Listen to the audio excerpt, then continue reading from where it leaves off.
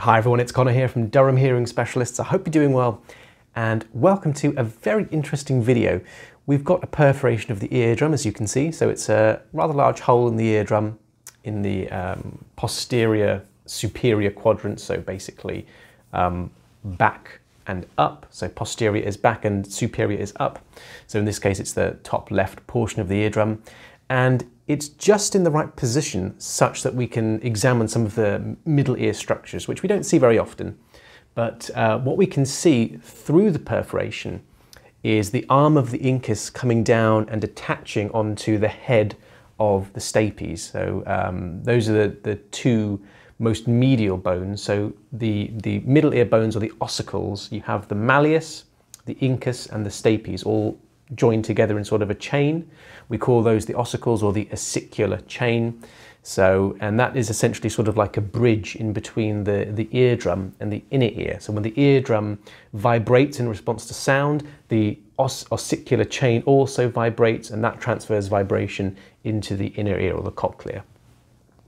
And uh, obviously there's a hole in the eardrum, so that, that transfer of energy is not quite as efficient as it could be. And what's very interesting about this case is that I knew that, that this person had a perforation before looking in the ear.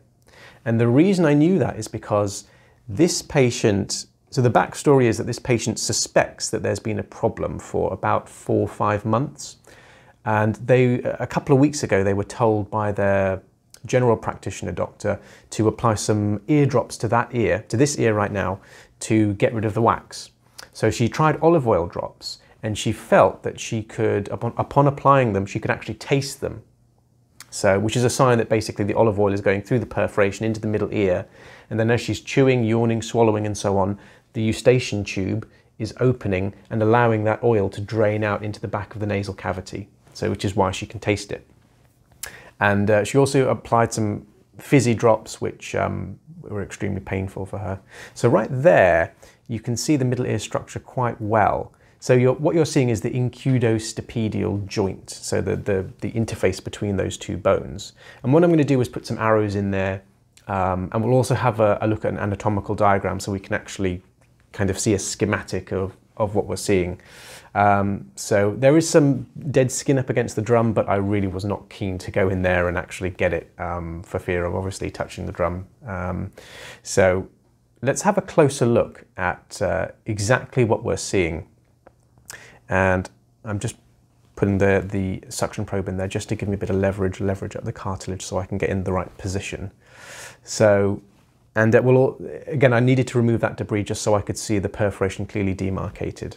Um, so, and we're going to send some images to an ENT doctor. So that's the, the incus hanging down. So, and then right there on the second arrow is the head of the stapes. So you can't see all of it, but if we look at an anatomical diagram, right there, that's where the perf is, roughly, and right there, that's what you're seeing. So that's the, it's the junction between those two bones. So, um, and just as a side note, if we just angle the endoscope, see right, that right there, that little sort of white bit, that is the arm or the handle of the malleus. So if we look at an anatomical diagram, the, the actual part of the malleus or the hammer bone that's attached to the eardrum right there, that's what you're seeing. Not all of it, but we can just about, if we angle the endoscope, we can just about see it. So very interesting case there. Um, again, not much wax removal, but then, you know, we don't often see the ossicle so clearly through a perforation. I just wanted to share that with you because it's very interesting. So there we go, short one today, but I thought you would enjoy that. I hope you found that uh, interesting. Thank you very much for liking and subscribing, and I will see you guys on the next video.